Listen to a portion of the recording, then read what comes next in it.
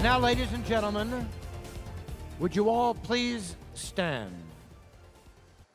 and help us honor the United States of America? Out of respect for our country, we ask that you please remove your hats. Veterans, please salute. You're invited to join the Tamanend Middle School Gold'n'Blues under the direction of Ian Sanchez as they perform our national anthem. Oh, say, can you see by the dawn's early